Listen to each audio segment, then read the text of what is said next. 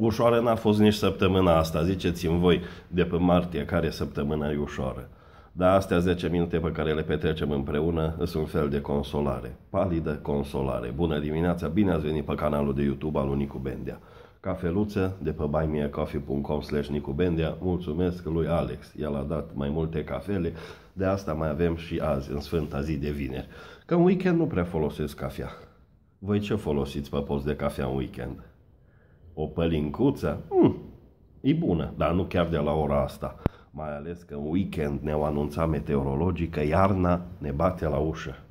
Bate și iarna, amărita de iarnă ne bate la ușă. Oare să o, s-o lăsăm să intre, să o invităm? Poftiți, doamnă iarnă sau domnișoară iarnă? Cred că e domnișoară, nu-i doamna iarnă, e domnișoară. Cine își pune mintea cu ea?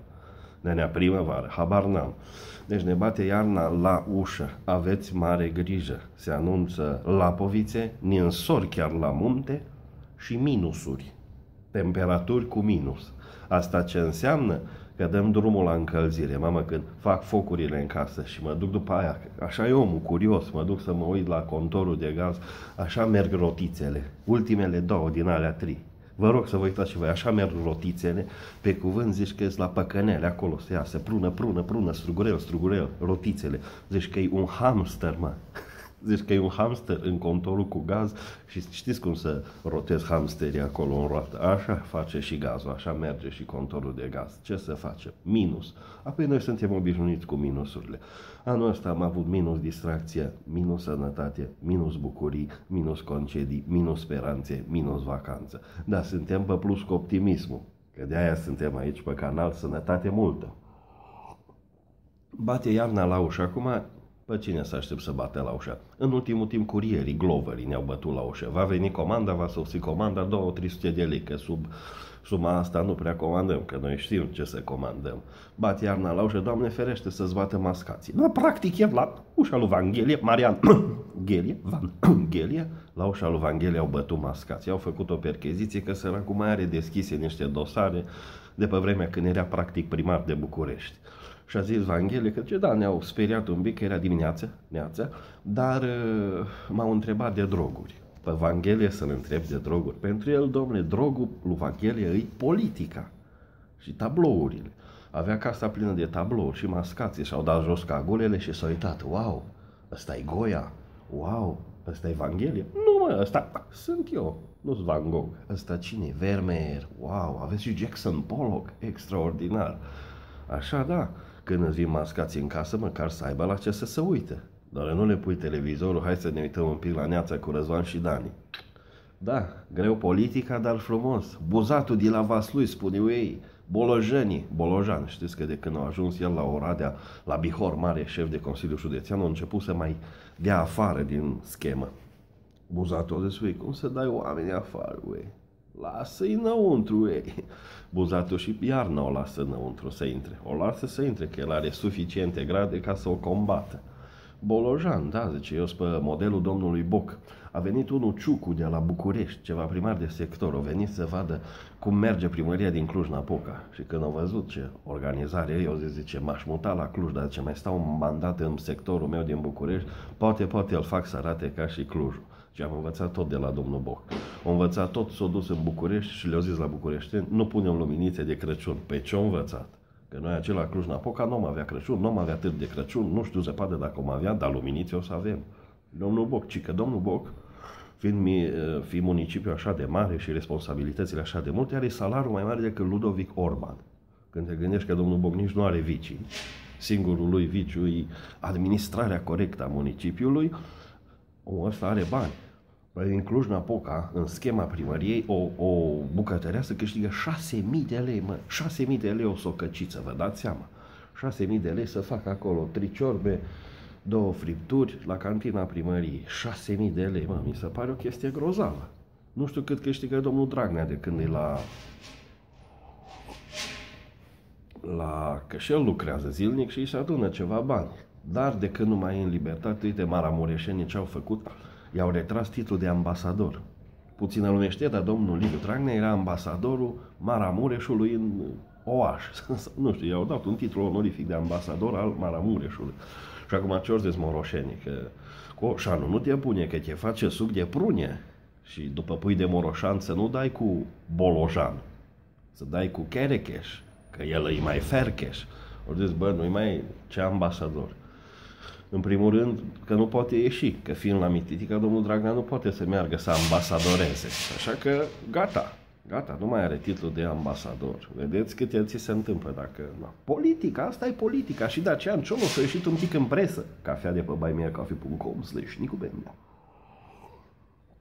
Cioloș a intrat un pic în, în, în, în, pe televiziuni, deși eu zis că el e cam sabotat și eu zis că el e candidatul de premier pentru următorul mandat. Drag, ai mai fost. Ai mai fost. Acum ești la Parlamentul European, fă acolo cu New Europe sau cum e zice, New Wave sau New Age acolo. Fă tu treaba acolo, lasă că avem premier destui în țară. Tudor, eu zis că numai psd au vreo șapte nume. Să nu ne stresăm. Mă, suntem copii. Apropo, ziua universală a copilului sau ziua drepturilor copilului o sărbăm azi. La mulți ani, dragi copii, știu că mai intrați aici pe canal sau vă spun părinții ce discutăm aici. La mulți ani, ziua, cum o sărbătorim? Le dăm tablete, nu?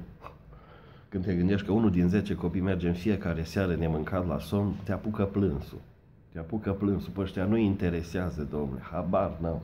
În, în campania lor electorală acum, că mai sunt două săptămâni din fericire și după aia patru ani nu mai auzim de nicio campanie, în campania lor iară promit mii și mii de kilometri de autostrăzi, spitale, fabrici, uzine. Numai să treacă alegerile, mergem la vot, că asta e dreptul nostru, mergem la vot, mai ales că e pe 6 decembrie, dacă o sosit Sfântul Nicolae și cu ceva în cizme în noapte între 5 și 6, mergem cu drag la vot în 6, numai să ia, ia, ia, copii. Eba, copilul favorit al lui Băsescu și a început și a campania în Constanța. Am văzut câteva poze, domnule, pe tocuri, cu haine de firmă pe acolo, mergea să partă pliante până crâșme. Acum nu știu, o fi luat exemplu de la taică sau de la cine, dar se poza cu un măgăruș, am văzut-o pozându-se cu un măgăruș, nu. În poza aia nu știi cine are IQ mai mare. Ba, a mers la un cetățean, la un târg sau undeva, care avea doi porci în porbagaj și a mers și a mângâiat porci. Nu, vedeți cum mângâi eu porcii, așa o să vă mângâi și pe voi după ce o să câștig uh, post de parlamentar din partea Constanței. Și după aia tătăvara pe șezlonguri, EBA rezolvă problemele celor din Ovidius. Sărac Ovidiu, marele poet, a fost el exilat acolo la Tomis Acum, dacă ar mai veni odată și ar vedea, mă rog, ar vedea, ori simți eu pe Eva, ar mai scrie el încă o dată tristele. da, ce să facem? Asta e politica. Dansatoarea Emi, o știți pe dansatoarea Emi? o dansatoare modestă după vorbă, după port, dansatoarea maneliștilor. Emi era știre că Cica a fost angajată la DSP, a fost un concurs fulger în 48 de ore își depuneau candidații dosarele. De ce? Ca să ajungă cine trebuie, la DSP pe acolo până schemele mai superioare. Dansatoarea Amy. A terminat turismul de două ori, a terminat turiștii, Amy, dansatoarea, ă, are dicție, are și dansează din buric. A dezmințit fata, vedeți că nu, rușinea e mare sau cum să zic. Zicem noi că Știm că în firea umană e ușor să arăți cu degetul, dar de fapt nu e, a dezvințit pe Facebook, o fi altă Emi, eu nu candidez la așa ceva. Dar când te gândești, era bună la DSP, sunt la DSP cu un năcaz și așa, nu salvări, nici nu știi dacă răspunde DSP, au avut trei numere de telefon, măcar îți dau ocupat direct, știi, la taxi sau la alte policlinici, te pun în așteptare și îți spun muzică, acolo la DSP măcar, ce frumos era dacă răspundea Emi dansatoarea. Te învăța cum să dai din buric, cum să te înveselești, ce manele să potrivesc pentru starea ta de spirit acum în ruptă cu Guvidu. Cred că trebuie să mai căutăm, să mai găsim oameni potriviți la locurile potrivite. Nu numai politicul să decide, oi. Practic, vorba lui Marian Vanghelie, am terminat cu bine și această săptămână. Vă doresc un weekend de milioane și cu milioane dacă mai aveți ceva bani de luat să vă simțiți bine și să nu lăsați iarna să intre în casă. Lăsați-mă pe mine să intru în casele voastre pe canalul ăsta de YouTube. Nicu Bendea, mulțumesc de abonare, mulțumesc de cafelare și și mâine ne vedem pentru o retrospectivă a filmărilor mai de demult, pe care o să o postez în jur de 11, că e sâmbătă și cine se trezește de la 10. Dacă auziți clopoțelul sunând sâmbătă, să ziceți, bă, ar fi cazul să mă trezesc, că deja e jumate de weekend. Numai bine, salutări și scuze că v-am reținut și azi cam prea mult. Nicu Bendea, pentru dumneavoastră.